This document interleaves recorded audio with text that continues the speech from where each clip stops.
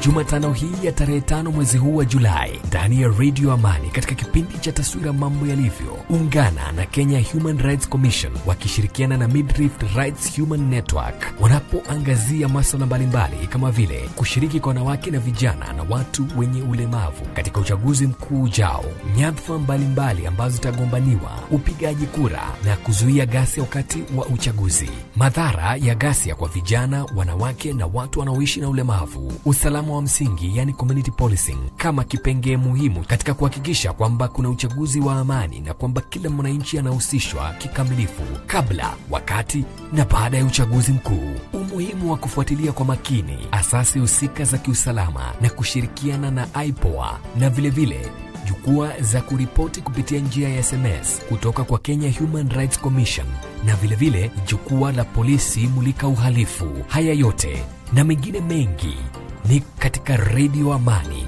katika vipindi vinavyofadhiliwa na Kenya Human Rights Commission wakishirikiana na Midrift Rights Human Network kuanzia Julai tarehe tano hapa katika Redio Amani. Usipitwe na uhondo.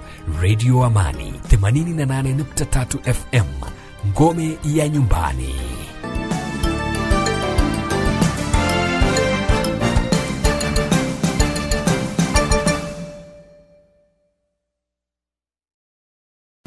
Na msikilizaji, eh, tunarejea tena kidogo, tunaomba radhi kwa nimeona hiyo kipaza sauti eh, kikuwa kinanasa sauti inavyosta- inavyotakikana, na nataka tuwasikie vizuri wageni wetu, kwa sababu mada hii ambayo tunazungumzia muhimu sana.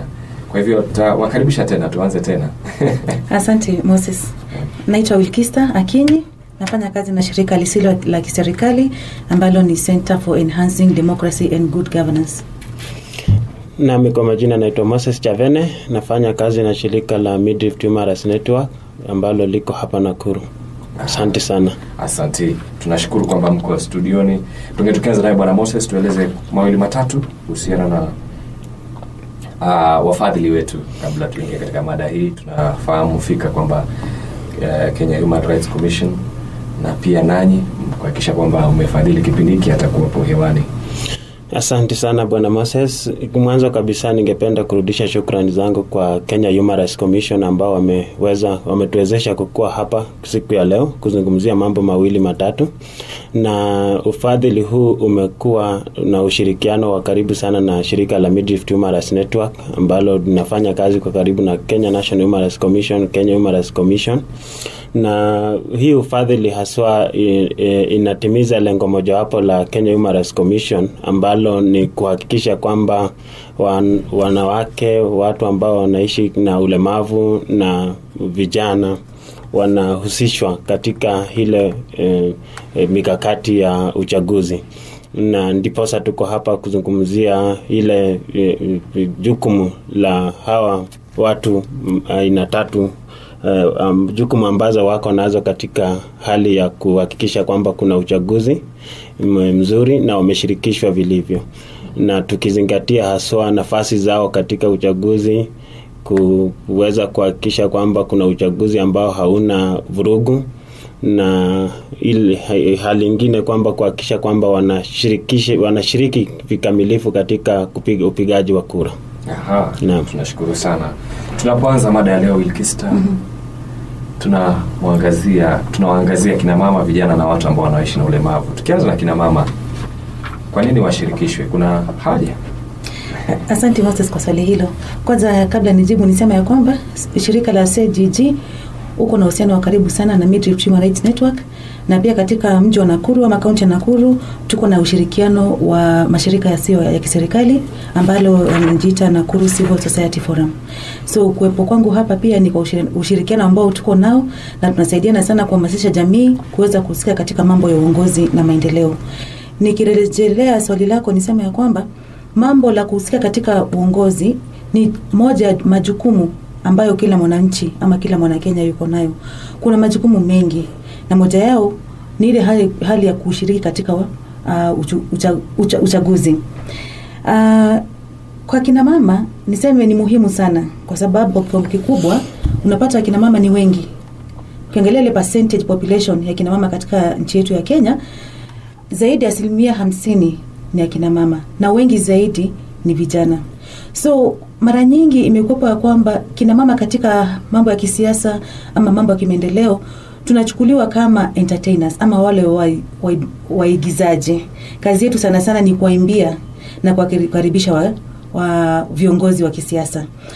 Alafu baadaye unapata kwamba kiongozi anachaguliwa pengine mambo anaenda mramba na inakuwa ni vigumu sana kuelezea ilikuwaje. Na wao ndio wanakuwa mstari wa mbele kulalamika ya kwamba pengine hakuna maji barabara ni mbaya nikipeleka mtoto hospitalini hakuna dawa mahali ambapo unafanyia kazi haja sokoni hakuna security so ni muhimu wanawake kuhusika katika mambo haya kwa sababu wao ndo wanaathirika kikubwa na wao ni wengi. So inamaanisha ya kwamba tunapokuwa na kiongozi bora wanawake kwa kiwango kikubwa katika nchi yetu ya kenya na katika kaunti ya nakuru ndio ambao wanachangia. Mm-hmm. na utafiti ambao tutauhoji hapa kidogo baadaye ulifanywa na oxfam uliangalia pia kuhusishwa kwa wanawake. Tutaangazia utafiti huo lakini bado tunaposonga mbele labda moses una, una jambo hapo kuhusiana na umuhimu wa kwa, kwa nini tuwashirikisha kina mama? Mwanzo kabisa tuseme kwamba ya makundi ambayo tumetaja wamama na vijana tuna utafiti ambao umefanywa hata kama sitazingatia si, si, si hiyo utafiti wenye umesema but utafiti mingi imefanywa kwamba vijana wanakuwa ni wengi zaidi kuliko hizi age group zingine na ni muhimu sana washirikishwe katika hii uchaguzi sababu wao ndio watadetermine kwamba wale viongozi ambao watawekwa watu wataingia katika serikali ni viongozi ambao watahudumia zile maslahi zao. Tukizingatia wamama haswa katika familia tunajua kwamba wamama ni nguzo za jamii. Sasa kama wasiposhirikishwa katika hii uchaguzi ama ile hali ya ku chagua vi, viongozi then inamaanisha kwamba wale viongozi ambao watachaguliwa na wale watu wengine watakuwa wanaweza kuserve zile interest za wale wachache ambao wamewachagua na zile interest za wale wengi ambao walisukumwa sukumililiwa na katika ile hali ya ku weza kudetermine viongozi wao then wataweza masila yao wataweza kuzingatiwa Naam. Swala ambalo linafuata hapo Ilkista, umezungumzia umuhimu pale washirikishwe kwa njia ipi? mm-hmm. Kuna njia zipi hizo za kina mama kushirikishwa tunapotafakari sasa? Siku ni ishirini na saba kabla tuja kwenda kwenye debe ya kwenda kwenye uchaguzi. Naam, asante kwa swali hilo. Katika mambo ya uongozi ama mambo hali hii ya uchaguzi, kuna njia nyingi za kuhusishwa. Kwanza ni katika mikutano ambayo wananchi wanafunzwa jinsi ambavyo wanaweza uh, kuchagua viongozi bora. Katika mikutano hayo unapata ya kwamba akina mama mara nyingi tunaona kama hatufai kuwa pale, tunaona kama siasa ina wenyewe, pengine siasa ina vijana ama siasa ni ya wazee, lakini tunaweza kuwaeleza akina mama ya kwamba wakati mikutano haya yanaandaliwa, mikutano ambayo yameandaliwa kufunza watu jinsi ya kuhusika uh, katika mambo ya uchaguzi ama kuchagua viongozi bora inawapasa wajitokeze na waweze wakashiriki katika mitano hizi. Pia kuna yale uh, debates ambazo zinaandaliwa aidha katika uh, eneo la wodi ama katika eneo la kaunti. Tungeomba katika mikutano haya ambapo uh, viongozi wanaitwa ili waweze kuelezea vizuri jinsi ambavyo wataweza kuongoza wananchi ama jinsi ambavyo wataweza kutekeleza majukumu yao kama viongozi, ili waweze kuhakikisha kwamba kama ni mipango ya kaunti, kama ni bajeti ya kaunti, kama ni sheria za kaunti zinaundwa, zinaweza kuzungumzia mahitaji ya kina mama na waomba waweze kujitokeza ili waweze kuuliza maswali ambayo yanawahusu. Katika uchaguzi pia ni bora. Uh, wakati huu kume, kumeanza kuwa na tension kiasi, kuna wasiwasi kidogo. Uh, juzi nimeweza kusafiri, naona kwamba kwa kikubwa kina mama wameanza kuwa na wasiwasi, wanaanza kwa mfano kuhama, wanaenda nyumbani wa mashambani wanasema wanaogopa uh, uchaguzi usiopate hapa town. So ningeomba akina mama especially wale ambao walijiandikisha kura katika kaunti yetu ya Nakuru ama katika manispaa yetu ya Nakuru, wasiende nyumbani, wasiwe na uoga, waweze wakahakikisha waka kwamba ile kura ambao waliichukua wameweza kuitumia vizuri, ili waweze kuchaguana uh, wakati utakapofika, kwa sababu wasipochaguana, wasiwe mstari wa mbele, waulize yule kiongozi ambaye alichaguliwa ni nani na kwa nini hayatekelezi majukumu yake jinsi uh, alivyohakikisha kwamba atatekeleza yeah. mm-hmm. na bwana moses ukiangalia uh, nikueleza kuna oxfam pia shirika lisilo la kiserikali wakati mmoja walifanya utafiti na wakiangalia nafasi ya wanawake na waliweza kubaini kwamba katika mwaka wa 2013 idadi kubwa sana ya akina mama ambao walikuwa na vitambulisho na wengi wengi zaidi walikuwa wamejisajili kama wapiga kura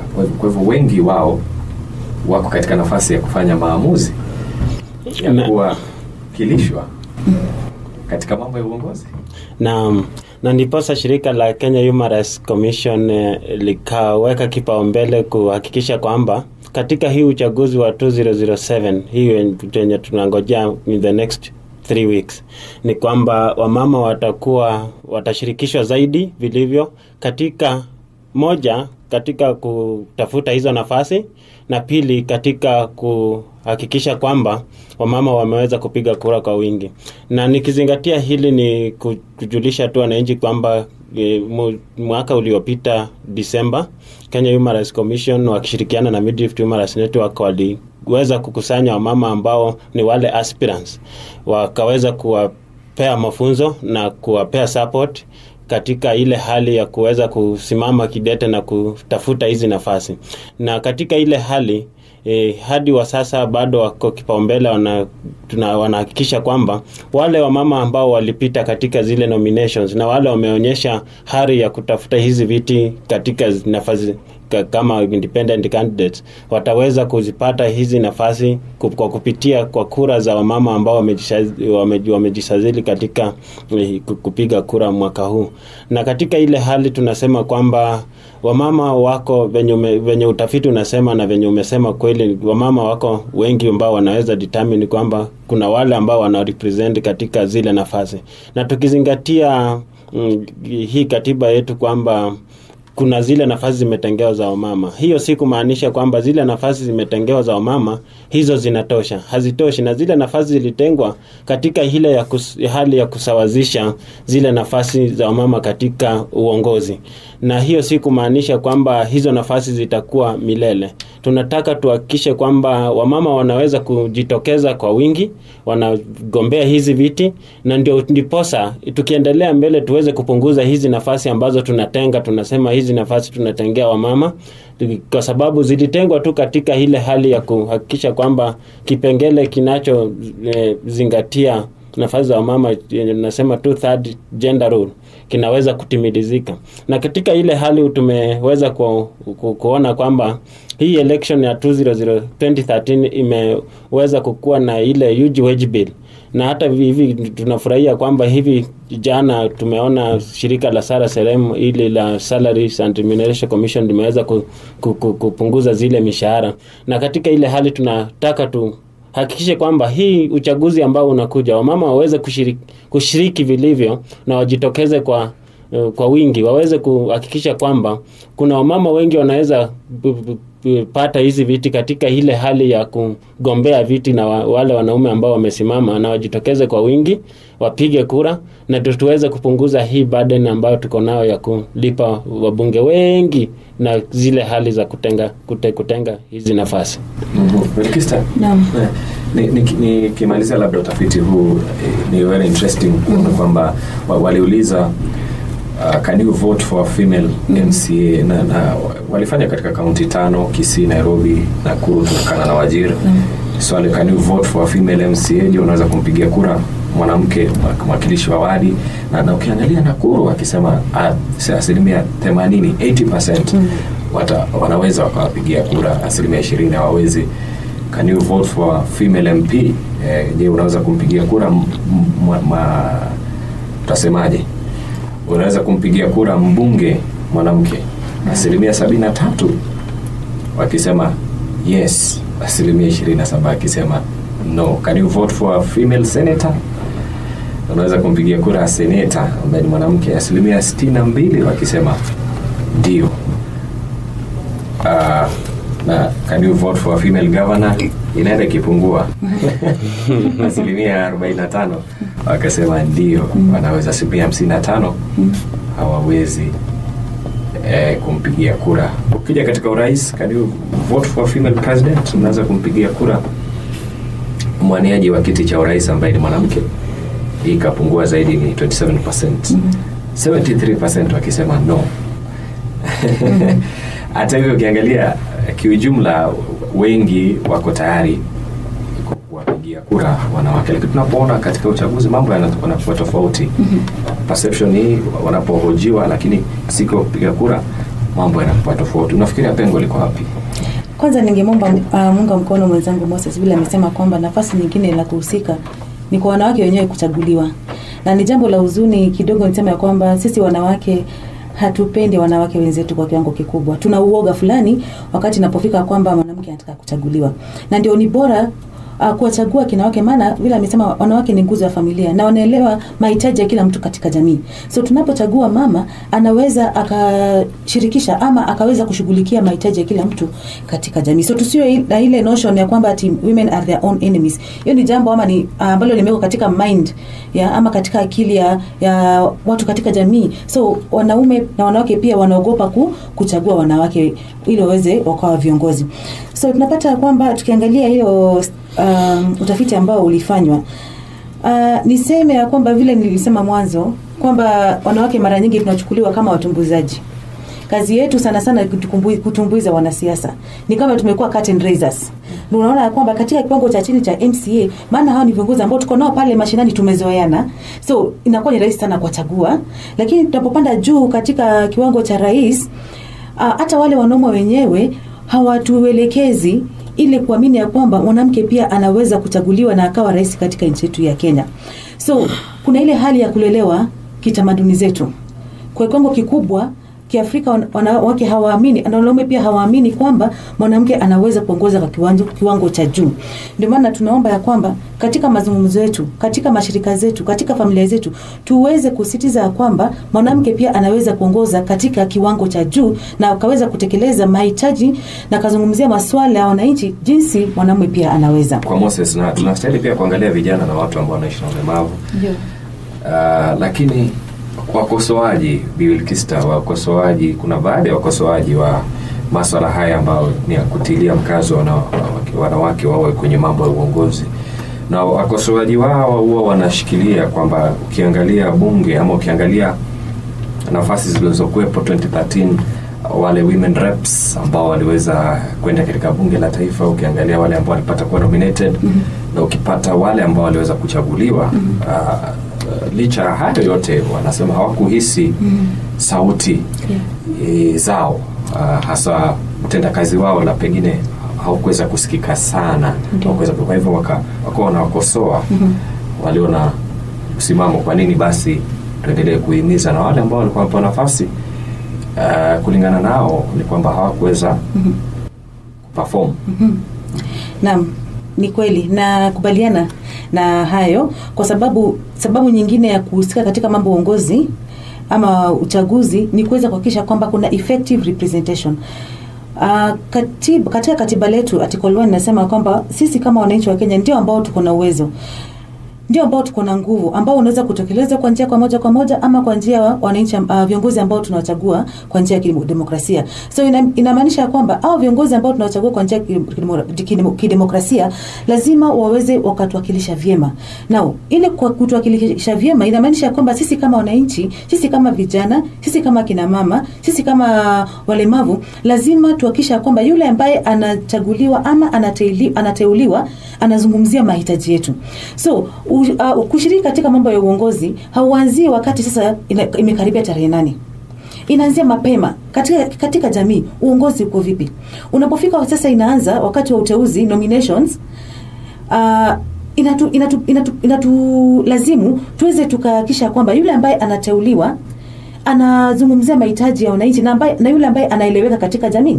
So unapata kwamba katika nominations ama mchujo kura ya mchujo wananchi wengi hawahusiki. Hata wataki kujua ni anachaguliwa anasema anangojea tarehe nane. Lakini unapata kwamba ile mchujo ni muhimu hata zaidi kuliko hata wakati wa uchaguzi. Maana katika um, maeneo ambao kulikuwa na yale political parties ambao zimetita mzizi wale ambao waliteuliwa ama wale ambao walipita katika mchujo ndio ambao watachaguliwa.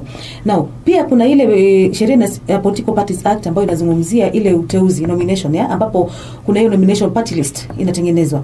Haya mambo yote inafaa wananchi waweze kujua ili kama sasa think two weeks in the last two weeks kumekuwa na utata kidogo katika chama cha Jubilee katika kaunti yetu ya Nakuru ambapo walikuwa hawaelewani nani ata, ambaye atakayeingia katika hiyo nomination list. So unapata kwamba sisi wananchi kwa sababu hatutaki kujua ama hatutaki kuhusika, wale ambao wanateuliwa wanakuwa ni marafiki wa karibu wale viongozi wa kisiasa ndio unapata kwamba kunakuwa na mvutano. So inatupasa ili tuweze kusika, tuweze kufuatilia tujue ya kwamba yule ambaye anateuliwa yule ambaye anayo katika hiyo party list ni yule ambaye anaelewa maswala ya vijana ni yule ambaye anaelewa maswala ya watu ambao ni walemavu ni yule ambaye anaelewa maswala ya kina mama ili aweze kumzungumzia mahitaji yao. Lakini tunapojiweka kando tunaachia siasa wanasiasa ndipo ambapo tunaweza kuumia. So nikipenda kusema ya kwamba siasa sio wana, sio ya wanasiasa. Siasa ni maisha. Siasa ni yetu wote. Inabidi tushiriki ili tuweze kujua kwamba ni vipi tunaweza kubadilisha maisha yetu. Kwa sababu mambo haya yote yasipohusika uh, tusipohusika wale ambao watachaguliwa wale ambao watateuliwa watakuwa wanazungumzia mahitaji ya wale ambao wamewateua. Sio wa- uh, haswa wale viongozi wa kisiasa. Sio masuala ambayo yanahusu wananchi kwa ujumla. Mm -hmm. Bwana Moses, pia tumeweza kuona tunapotafakari akina mama na uongozi, pia swala hili la usalama na, na najua pia umezungumza pakubwa mambo ya, ya kuzuia kwa ghasia kabla, wakati na baada ya uchaguzi. Tuliona katika instances zingine baadhi yao wakilalama kuhusiana na mambo ya usalama ama ile security, akisema kwamba wakati mwingine wao inakuwa ni vigumu kuwa katika mikutano ya kisiasa, wakati mwingine kunakuwa na pengine vurugu, wengine wataogopa. Unazungumziaje usalama huu na amani ukiangalia nafasi ya wanawake pia katika mambo na wao kushirikishwa katika mambo ya uongozi. Mm, mwanzo kabisa niseme kama shirika tena tumekuwa kipa, tumepea kipaumbele mambo ya usalama na tumeweza kushirikiana na ma, vitengo tofauti tofauti ya usalama kuhakikisha kwamba katika hii hali ya uchaguzi wa kila mtu atapewa usalama unaofaa na tukizingatia nafasi ya kina mama, ni kweli kuanzia mwanzo kabisa wamama wamekuwa wakiogopa kuweza kushiriki katika uchaguzi ni kwa sababu ya kuhofia usalama wao, na usalama kwa kina mama ime, tukizingatia mwaka wa 2007 2008 wamama wengi walikuwa affected, na jambo kama hilo haswa huwa linatendeka sana na huwa linafanywa na wanaume ambao wanagombea viti ili kuweza kutisha ama ku, ku, ku, ku, ku, ku discourage wale wamama katika ile hali ya kushiriki katika uchaguzi, na tunasema hayo ni mambo ambayo yamepita, na tukizingatia e, matamshi ambayo yalitolewa na m, e, minister ule minister wa wa security unfortunately ameondoka, Mungu ailaze roho yake mahali pema peponi, ni kwamba atahakikisha wale wamama ambao wamesimama watapewa usalama wa kutosha, na wale ambao wamama wataenda kupiga wataweza kushiriki katika ile hali ya uchaguzi kupiga kura, wataweza kupewa usalama ambao usalama utakuwa usalama wa kutosha. Na hata hivyo government yetu pia imehakikisha kwamba vitengo zote za, za usalama zimeweza kuzingatia hayo.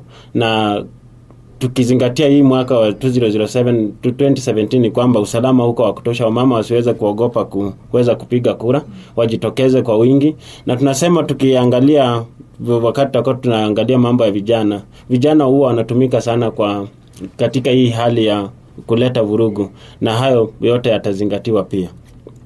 Na labda tu nikiongezea nirejelee kwa jambo lenye uliuliza kuhusu utafiti na kwamba wananchi wengi wanaona wanaweza pigi, pigia MCA mama MP mama gavana hawaoni. Sababu sababu ni kwamba tukiangalia venye mwenzangu madamu Madam Wilkista amesema ni kwamba Nakuru, Nakuru County Government katika ile uchaguzi wa nomination hakuna mama alijitokeza kutafuta kiti cha ugavana. Mtu hawezi akawa na imani ndani yako katika majukumu fulani kama we mwenyewe hujajitokeza. Ndio, ndio ika, ikawa kwamba katika hiyo utafiti ikaonyesha kwamba watu wengi hawana imani kwamba mama anaweza simamia kiti ya ugavana, sababu katika ile hali hakuna mama alijitokeza kutafuta ile kiti. Tukizingatia hizi viti zingine kama hii ya MCA tuna furaha kwamba katika hii nomination imepita, at least wamama wengi wameweza kujitokeza, waliweza kujitokeza, na tukiangalia wale ambao walipita ile nomination, tukizingatia zile miaka zingine, at least wamekuwa wengi kuliko uh, hizo miaka zingine, na tukiangalia pia hii kiti ya UMP tukiangalia kule Njoro kuna mama alisimama kidete na ni mama amefanya kazi na wananchi na wananchi wameweza ku, ku, ku, ku, ku, ku, ku, kujua kwamba huyu mama ni mama anaweza badilisha na anaweza leta mabadiliko katika hii sehemu ya Njoro.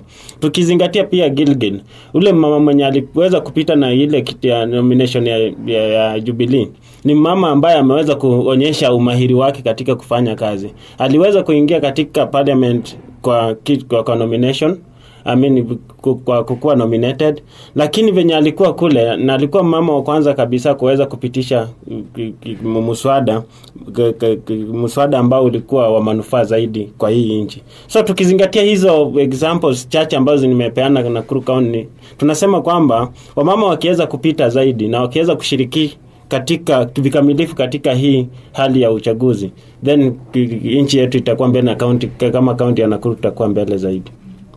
Kuna jambo ulikuwa na Yeah, ongeza ningependa kuongeza tu kuhusu usalama, nizungumzie dhuluma ya kisiasa.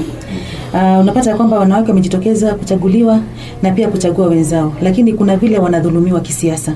Unapata kwa mfano inaweza kuwa sio ile ya kimwili, lakini matamshi ambayo yanazungumziwa uh, katika jamii yanaelekezwa vibaya kwa mwanamke ambaye amesimama kuchaguliwa, kama vile amesema mwenzangu Moses wanawake wengi wamejitokeza katika hii um, kiwango cha MCA katika Nakuru, wengi waliteuliwa, lakini unapata kwamba wa- katika yale eneo ambao waliteuliwa uh, kwa mfano kama ni chama cha Jubilee kilikuwa kimetita pale, wale ambao walishindwa walienda katika independent. Wamekuwa independent candidates especially kwa wale wa, walikuwa ni viongozi tayari.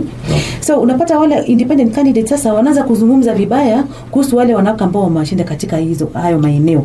So una, uh, wanajaribu kuge, kubadilisha mawazo ya wananchi ili wasiweze kuchagua hawa wanawake ambao waliwateua waweze kuwachagua wao ambao ni independent candidates. Kuonyesha kwamba wanawake ni wanyonge wanawake yule pengine hana mme hawezi kuongoza vizuri yule pengine alifanya 1 2 3 kuzungumza tu matamshi mabaya ya, ili kuweza kuchafua mawazo ya wananchi wasiweze kumchagua huyu mwanamke aweze kutu, uh, kuwa kiongozi wao.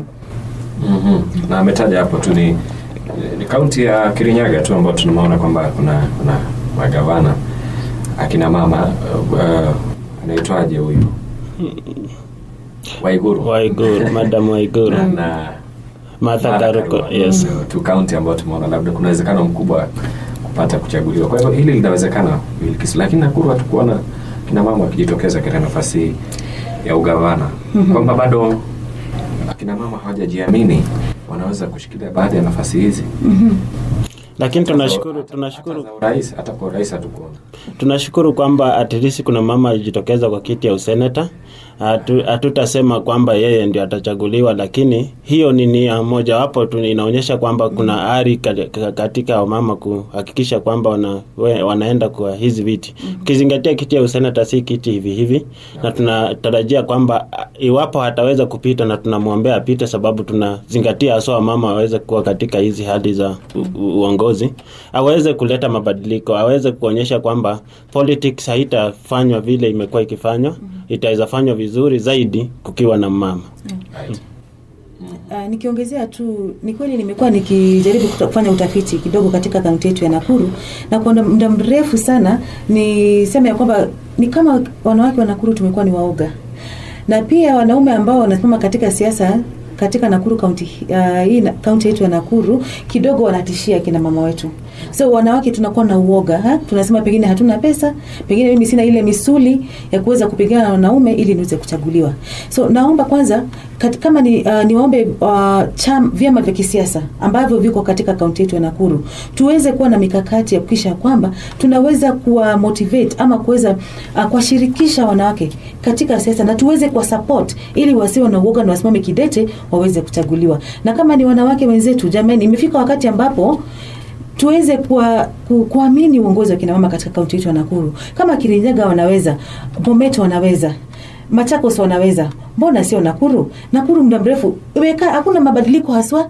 Viongozi wengi wa Nakuru ni wale wale, hakuna tofauti, wanabadilishana tu kutoka kwa maybe ilikuwa councillor to MP ya maybe to senator, ni wale wale. Imefika wakati ambapo moving forward tuweze kuwa na mabadiliko tuweze kuchagua kina mama pia hata na vijana wengine, maana wanaweza na wanatosha kuweza kubadilisha sura yetu ya Nakuru. Mhm. Tukimalizia, maanake tunasema kuangalia vijana, watu ambao wanaishi na ulemavu, na pia tutasikiza maoni ya wale ambao tulizungumza nao humu mjini katika masuala haya. tumezungumza nafasi ambazo wanaweza kuwania. Ni vizuri tena tukumbushe ni nafasi zipi hizi akina mama uh, wanaweza kuwania wanaweza kuwania katika uchaguzi wote ule. Mm -hmm. Naam, wanawake kama Mkenya yoyote ana haki ya kuanua kwa, kwa, kuania uh, nafasi zote ambazo ziko kwenye sheria. Nafasi za uchaguzi ni sita, kuanzia rais, kuja kwa gavana, tuende kwa senata, mbunge, alafu tuko na MCA MCA na pia kuna mwakilishi wa wanawake.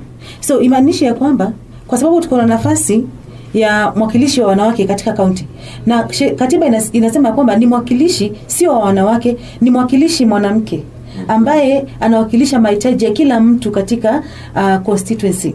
So sio women representative but a woman representative. So huyu mwanamke tu ni mmoja um, uh, kati ya wanawake wote ambaye anawakilisha kaunti katika bunge la kitaifa. Lakini imaanisha kwamba kwa sababu kuna hii nafasi sasa hii nafasi tu imetengewa kina mama mwanamke wowote akona haki ya kusimama kama nca bunge wa, katika bunge la kaunti nafasi ya member of uh, national assembly nafasi ya, uh, ya governor na hayo mengine yote. So tujitokeze tuweze kuwachagua wanawake katika hizi nafasi zote maana wanafaa. Na, na, na tunasema kwamba hata baada ya uchaguzi county government ikianza kuajiri wafanyikazi wa- wa- pia wamama waweze kujitokeza na waweze kufanya application kwa hizo makazi kazi. Tukizingatia haswa hizi vitengo unapata kwamba county government iko na zile directorates.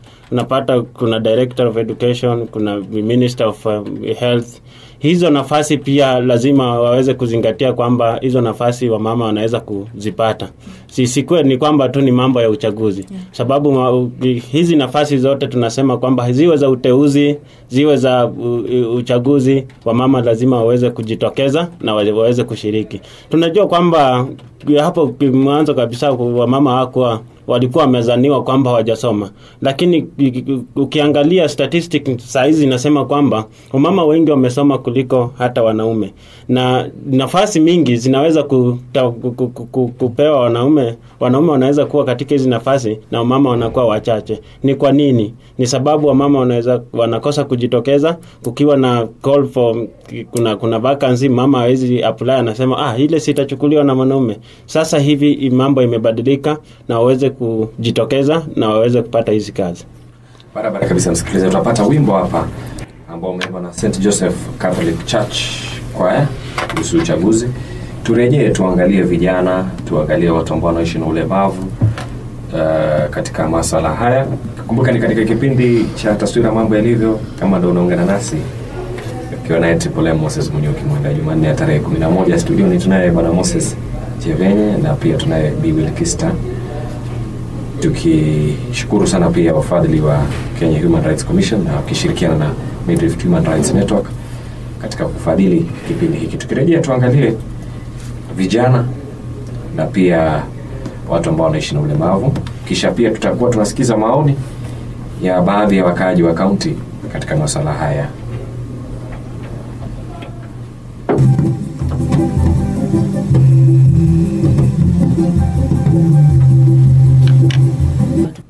Na msikilizaji hii ni kwaya st joseph uh, na wimbo uchaguzi. Siku ni 27 sasa katika countdown. Ilikuwa tarehe 11 mwezi wa uh, julai siku ni 27 27 days remaining. Na tunaendelea kuhakikisha kwamba tunakuelimisha mengi mengi zaidi tunapozidi tukaribia katika uchaguzi mkuu. Katika 3fm radio amani dakika kumi ndo zimesalia kabla ya saa tatu. Studioni tuna washikadau ambao wanaendelea kutuelimisha mengi mengi zaidi kwa ufadhili wa kenya human rights commission na pia wakishirikiana na midrift human rights network. Naye bwana moses naye b will kista ndani ya studio. Kabla ya wimbo tulisema tutaangalia vijana na watu ambao wanaishi na ulemavu. Tukianza naye bwana moses vijana unawazungumziaje? Ukiangalia ni siku ishirini na nane siku ishirini na saba kabla ya uchaguzi na tukiangalia unapozungumzia vijana ukiweka maanani pia kaunti ya nakuru kutajwa kwa hotspot ya labda uwezekano wa machafuko tafakari european union observers wakisema kuna uwezekano wa machafuko kiujumla katika uchaguzi na vijana ndio wanakuwa mstari wa mbele kutumika.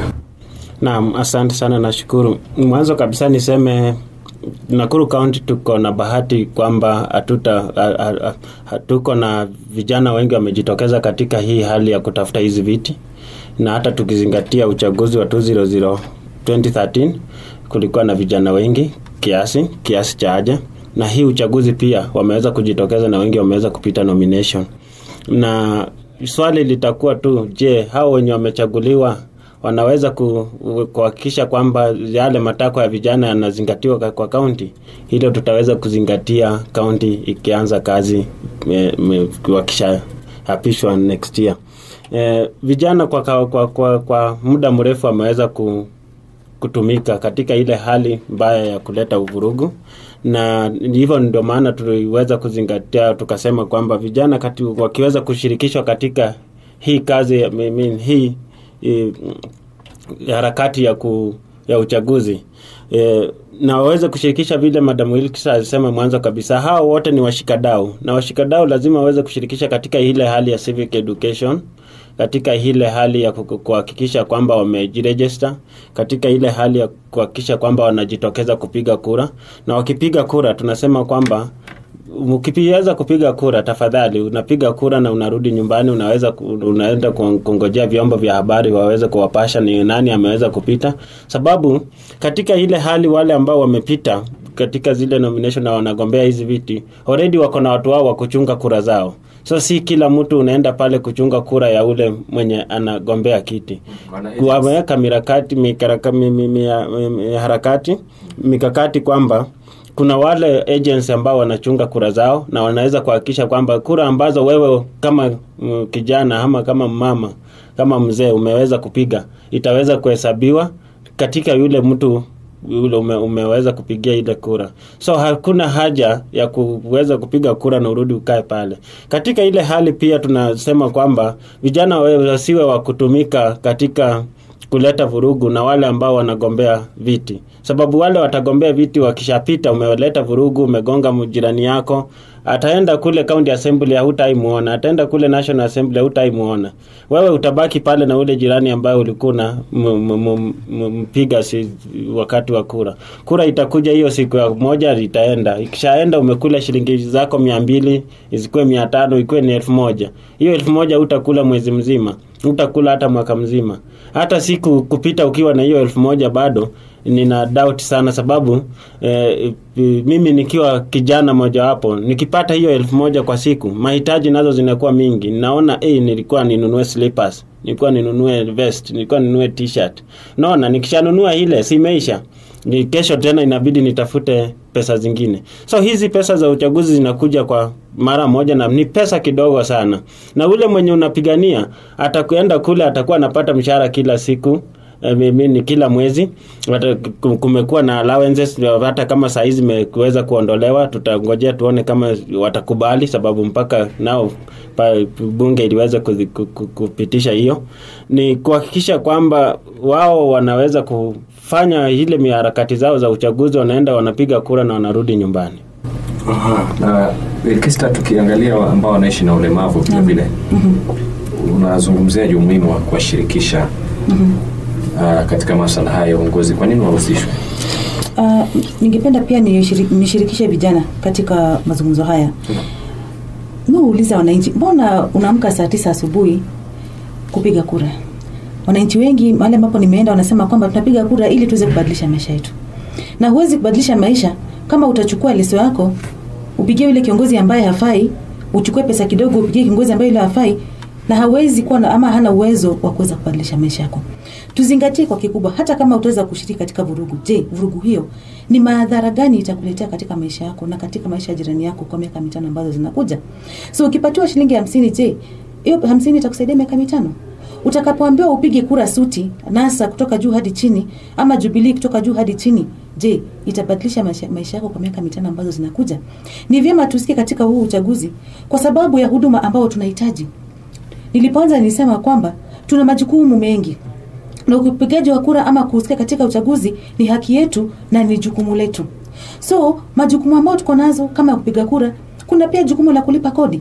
Unapolipa kodi hiyo kodi yako inafaa irudi kwako kwa njia ya huduma. Mahali ambapo unapokaa barabara ziko vipi? Hospitali kuna dawa? Kuna maji?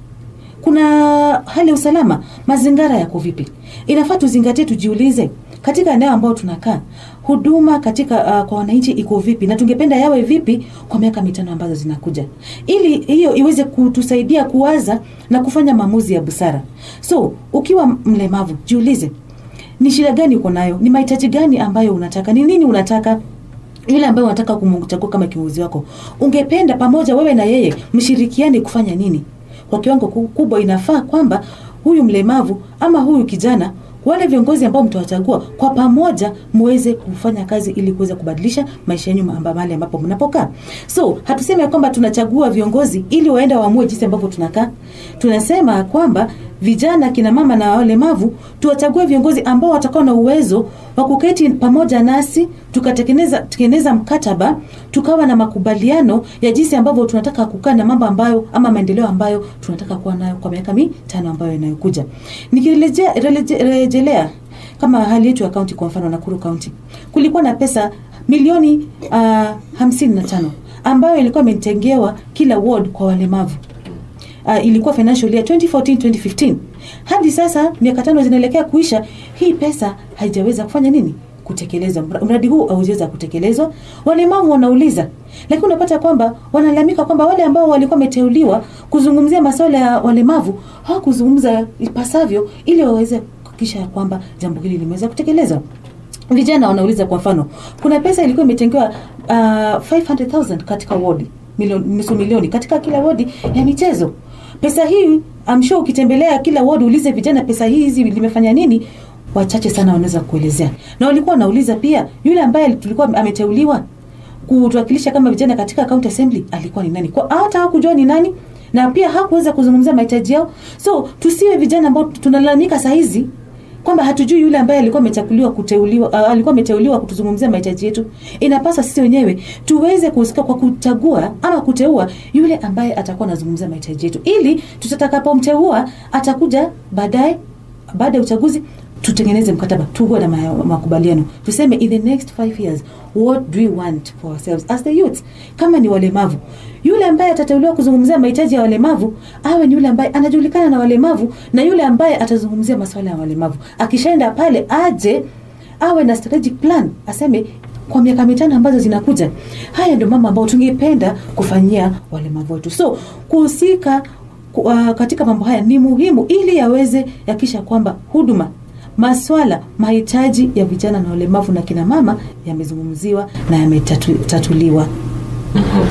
Tusikie maoni kisha tutakuwa tunakuja kuhitimisha kwa sababu muda ndo unakwenda haraka sana Eh, kabla haujatupa kisogo. Tusikize maoni katika mada hii pia kwa baadhi ambayo tuliweza kusemezana nao hapa mjini nakuru. Kwa maoni yangu, mi naona kuna hatua ukilinganisha na miaka zingine zilizokuwako. Hatujakuwa na mbunge nominated mlemavu, na sasa kwa bunge tunakuwa watu wanaenda huko bunge walemavu na wanakuwa nini, wanawakilishwa. Wanawakilisha walemavu wenzao. Mimi ninaonelea kwamba katika kuhusishwa kulingana na uchaguzi, naona kama ni mambo ya uchaguzi eh, ili naona kwanza dedication ya kwanza ni mtu binafsi hata hapa sio kuhusishwa, sababu kuhusishwa ni kujulishwa wakati wa kupiga kura, na jambo lingine kujulishwa kuchukua kura, naona. Kwa hivyo wewe mwenyewe hata kama hujaambiwa fanya hivi fanya hivi, ukipewa siku ya kuchukua kura unaichukua, ukipewa siku ya kuenda ku- ku- kurudisha hii kura, hiyo ni jukumu lako. Kwa hivyo kama ni mambo ya kuhusishwa, mimi ninasema kila mtu amehuzunishwa vilivyo, sababu nani hajui mpaka wa leo venye anatakiwa kufanya. Sababu mimi ni- ni- ni- nikisema kama ni vijana wamehusishwa vilivyo, sababu wengi wao hata ndio wame, wamepewa kazi ya kufanya kampeni huku, kulingana na venye ninaonelea mimi, wamepewa kazi hata ya kufanyia viongozi kampeni. Na wamepewa wame, huwezi enda kufanya kampeni kama wewe mwenyewe hauna kura ya, ya kufanya jambo hile jambo lingine ni kama hii imekuwa ni kazi, sababu hii kampeni ni, ni kazi kwao kwa vijana, na pengine sasa kuna pesa zingine zinafikia hawa wenye tunaita ni wakongwe wazee, kuna ki- kiwango ambayo wanapelekewa kidogo kama ni pesa, ili mtu aambiwe wewe wakati wa kura uchukue jukumu la kuenda kupiga kura. Huwezi kwenda kumwambia mtu hivi ati uende uchukue jukumu la kuenda kupiga kura na umeenda mikono mtupu. Hii ni Kenya ambayo tumeishi kuona ya kwamba lazima upate kitu kidogo ndio ufanye jambo lenye mtu anataka umfanyie. Kwa hivyo mimi naonelea kwamba hakuna mtu anaweza sema ati hajahusishwa. Kwa hivyo kama ni kura, kila mtu ako na kura. Kama ni kwenda kupiga kura, kila mtu ataenda kupiga kura na jambo lingine zaidi ya hiyo, tunasema amani kwanza. Hata kama hujatupa ile kura, kama unajua huna amani, afadhali wachane nayo, lakini tunaomba amani kwanza, ndio kura iendelee vizuri, na baada ya kura Kenya iendelee kuwa Kenya. Yeah. Kweli uh, siasa yetu haija- haijahusisha watu wenye ulemavu sana, kwa kuwa wao wenyewe wengine wao wanaogopa kujitokeza ili kusimamilia zile viti, kwa kuwa uh, siasa kama vile inavyochukuliwa hapa nchini kwetu huwa ina involve pesa, na tunapata wengi wa wale walemavu pengine hawajiwezi ki- kifedha. Sasa wengi pengine hawakusimama, wengine pengine walitaka wali uh, mtu kijana kwa kwamba hata akisimama pengine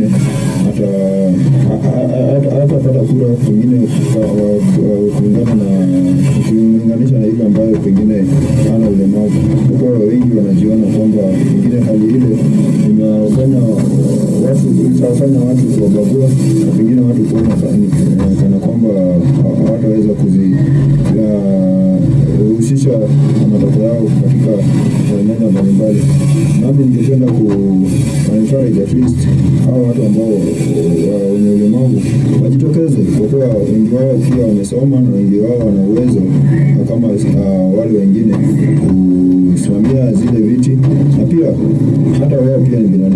binadamu kama sisi. Kwa hivyo ningependa kuwashauri na kuwatia uh, wale walemavu ambao wangependa kusimama katika vitu mbalimbali katika kaunti yetu ya Nakuru waweze tu kusimama, kwani uh, wananchi ndio wanaamua, na viongozi sio uh, lazima awe ni mtu ambaye ana uh, miguu ama mikono, lakini uongozi unahitaji mtu mwenye tajriba na hata akili hata pia mtu ambaye anasikia uh, kilio cha watu. Kwa hivyo ningependa kuwa encourage walemavu wasi- kwani wao pia ni binadamu na wao pia wana uwezo wa kuwakilisha wananchi wengine uh, kwenye nyanja mbalimbali. Kwa mfano, tunaona watu ambao wana ulemavu katika bunge yetu na wanachangia kama wabunge wengine, na pia wao uh, wameboresha sehemu mbalimbali ambazo wameziwakilisha.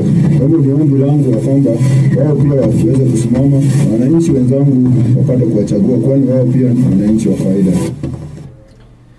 Barabara kabisa, msikilizaji, ni baadhi ya maoni au wakaaji ambao tulisemeza nao katika mada hii. Bwana Moses, uh, unazungumziaje maoni hayo tunapohitimisha, manake dakika nne baada ya saa tatu? Eh, kwa kutihitimisha nitasema kwamba hayo maoni ni maoni mzuri kabisa na nimeyasikiza vizuri kabisa na nimeona kweli wananchi na venye tunasema wananchi wamerevuka. Katiba mpya imeweza ku venye tuliweka katiba mpya wananchi wameweza kujua kwamba wako na jukumu na wameweza kutambua majukumu ya watu aina tofauti tofauti katika jamii. Na ninaona kwamba tukiendelea mbele haya mambo tunazungumzia kwamba wanawake wako na nafasi, tutakuwa tunatetea hata wanaume, sababu ninaona wana wa, wananchi wameenda wameweza kuerevuka zaidi.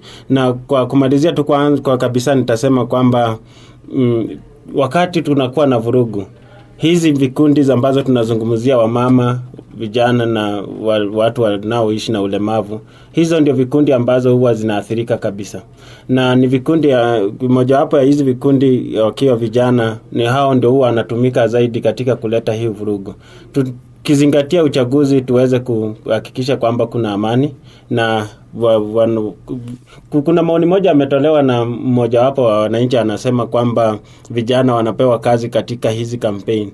Ningependa kumkosoa hapo kwamba as much as wanapewa kazi but ile si kazi ya kazi kupewa kazi, kwamba hiyo ni hali moja ya kutumiwa vijana vibaya katika kuele, ku, ku, kuendeleza sera za mtu, na katika ile hali ya kuendeleza hizo sera unapata vijana wamefanya mambo ambayo si mazuri kwa wananchi hao wengine ambao hawako katika zile campaign train. So hatuwezi hatuwezi tukasema kwamba hile ni kazi. Hile ni kazi kutumiwa vibaya katika kuendeleza sera za mtu, na katika hiyo hali ndio unapata wanaweza kugongana na ile timu ya mgombea mwingine ambaye aka upande ule mwingine ambaye ni competitor wa huyu. So hatuwezi tukazingatia hiyo tukasema kwamba hiyo ni kazi. Vijana waweze kujisimamisha kivyao na waweze kusema kwamba sisi kama vijana tunasapoti mtu fulani hata bila kupewa hizo pesa ambazo wanaenda kwa kampeni. Mnasimama mnasema kwamba tunataka hawa vijana waingie, huu kijana, na sababu mumeweza kumuangalia na kumu dhamini kwamba huyu ataweza ku- ku- kupusha agendas yetu, na akiingia kule atatupa kazi mzuri kuliko hii kazi ambayo tunafanya ya kufanya kampeni. Wilkista, ukitilia manani maoni hayo tunapohitimisha. Asante bwana Mnyoki. Uh, ningependa kusema kwamba katika kipengele cha hamsini na sita ya katiba yetu inazungumzia haya vikundi special interest groups, ya kwamba vikundi hivi vya kina mama uh, vijana na walemavu lazima wahusishwe katika nyanja zote za kimaendeleo na kuongozi. So inapasa kina mama na vijana na walemavu waweze wakajitokeze wakatetea nafasi zao katika uh, mambo katika viwango hivi, ili waweze pia wakahisi maendeleo, ili waweze pia wakahusika, ili kuhakikisha kwamba mahitaji yao yameweza kutekelezwa. Na ni vyema wananchi kujua ya kwamba wakati wanachagua viongozi waweze kujua wanawachagua wafanye nini mara nyingi wananchi wanachukua mstari wa nyuma ama wanaketi wanasema ah huyu tumemchagua tumemtuma. Ujua kwamba wakati unahusika katika uchaguzi ni wewe haswa ingefaa ucha- ni kama sisi wote tunachagua. Lakini ile kwa mfano hatuwezi enda county assembly sisi wote hatuwezi enda state house sisi wote. Kwa hivyo tunamwakilisha yule ambaye ataweza kuzungumzia mahitaji yetu katika nafasi hiyo. So hatumpeleki tu tunamwachilia tunangojea uchaguzi ujao. Miaka mitano itakuwa imekuwa wasted. So huyu kiongozi ambao tunamchagua tunamchagua ili arudi pamoja nasi tutengeneze mkakati ya miaka mitano. Ili uh, miaka mitano ikiisha tuweze tukajiuliza kwa hii miaka mitano tumeweza kufanya nini pamoja? Sio huyu kiongozi amefanya nini? Hiyo ndio makosa ambayo tunafanya mara nyingi kama viongozi amini kama wananchi tunachaguana tunangojea. Hiyo sio hiyo kwa kufanya hivyo ndio tumetekeleza haki yetu lakini hatutekelezi jukumu letu kama wananchi. Lazima tufuatilie. Ni kama unampa kazi mchakazi wako lazima ufuatilie amefanya kazi kivipi. Kama nenda kombo unamrekebisha unamrudisha nyumbani hatukukubaliana kufanya hivi tulikubaliana kufanya vingine. Na ndio maana sasa hivi katika miaka ambazo zimepita unapata kwamba kwa yale pesa ambazo zilikuwa zimetengwa katika kaunti yetu ya nakuru hakuna ward haijapata chini ya milioni hamsini. Lakini ukiuliza watu wengi hawaihisi hawaioni hawaisikii kwa sababu hawakuhusika. So wananchi nawaomba kwa uh, tafadhali especially vijana na kina mama na walemavu sisi ndio wengi. Tuweze kuwa na mazoea ya kujua kazi ya hawa ambao tunawachagua. Sio kwa mfano kama ni MCA sio kutengeneza barabara. Ni sisi pamo, yeye pamoja nasi tuamue ni miradi gani ambayo tunayataka. Alafu tukishaamua tuweze kufuatilia kwa miaka hiyo yote. Na tukifanya hivyo tutaweza kuwa na maendeleo na kuhusika kwetu katika uchaguzi utaweza kubadilisha maisha yetu barabara. Tutazidi kuendelea na mengi zaidi bwana moses katika vipindi vijavyo maanake si kipindi cha mwisho. Ndio kinaanza tu. Anasema ndo mkoko na hali kama huwa. Ndio tutaendelea kuwa pamoja katika msururu wa vipindi uh, tunavyozidi kusonga mbele. Ila tunashukuru kwamba uh, mmeweza kufika hapa kutuelimisha na tukishukuru kenya human rights commission na pia midrift rights uh, midrift human rights network kwa ushirikiano wenyu na ufadhili wa kipindi. Tunasema asante. Tutashukuru. msikilizaji tunafika tamati kwa sababu ya muda. Tupate tutakuwa tunapata shajara. Kisha kipindi cha charuka naye pasile wigeria majaliwa tukutane hapo kesho ambapo tutakuwa na nafasi uh, tukiwa bado na uh, kuangazia maswali ambayo ungetaka kujua kuhusu polisi lakini pengine unahofia kuuliza Tunarejea tena hayo hapo kesho saa mbili. Na kutakia jumanne njema